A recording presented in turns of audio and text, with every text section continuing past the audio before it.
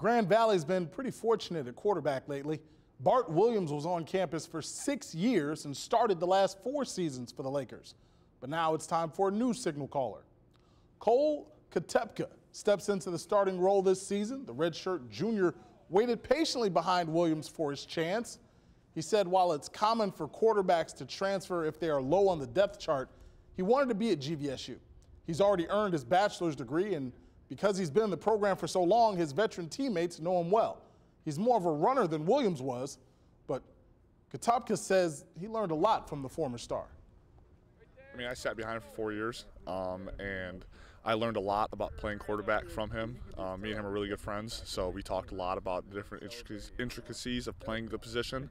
Um, and you know, I just I, I, bring some stuff that's different than him.